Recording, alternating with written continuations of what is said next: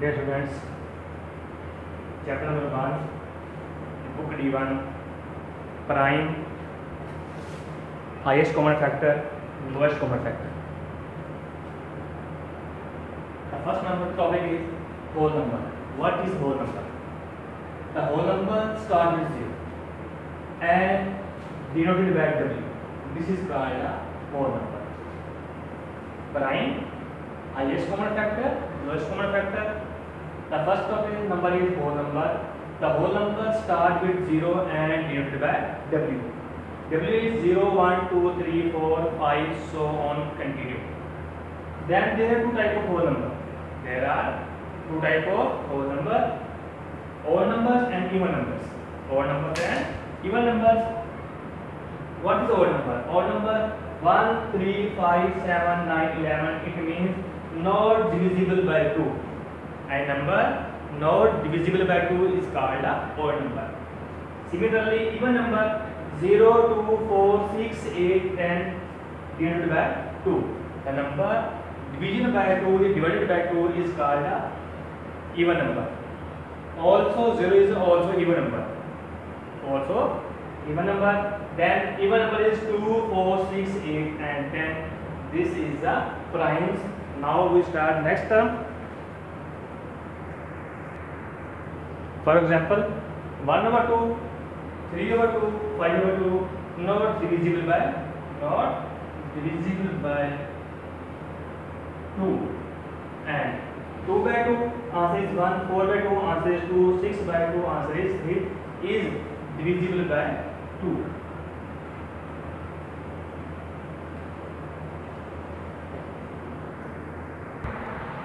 Now next is prime number.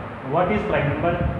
a prime number that has only two factors a prime number that has only two factors one and itself one and itself for example 2 1 multiply 2 this is two factor 1 and 2 itself 3 1 and 3 itself 5 and 1 and 5 itself now next is composite number next is composite number a composite number that has more than two different more than two different factors and it is a product of prime number.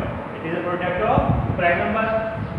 For example, 4. 1 multiplied 2 multiplied 2. 2 to 4, both 2 are prime number. 2 to the 4, 4 1 the 4. Similarly, 2 and 3 is a prime number. 2 and 3 is a prime number.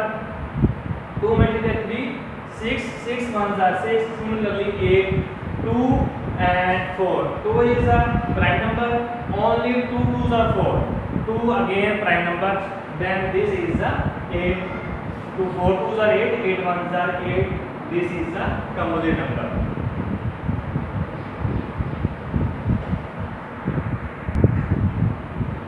now test for prime number or composite number check it 3 7 check it prime or composite number Now 387 is an odd number. Solution 387 is an odd number because the one number is one place is odd number. It is not divisible by two. It is not divisible by two. Then now we sum the digits. We sum the digits. Sum of digits is 3 plus 8 plus 7. 3 plus 8 plus 7 equal to 18. Then 18 is divisible by 3. 18 is divisible by 3 which is divisible by 3 therefore 387 is divisible by 3 divisible by if the sum is 18 divisible by 3 then the number is also divisible by 3 then we say that 387 is the composite number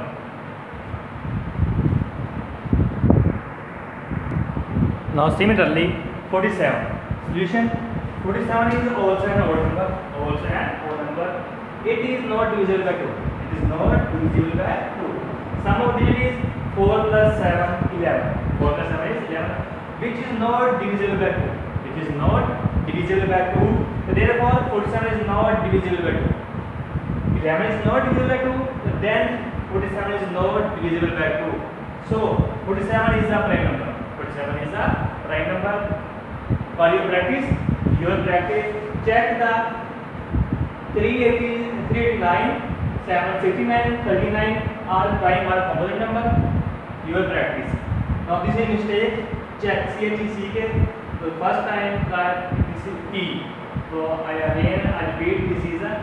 के replace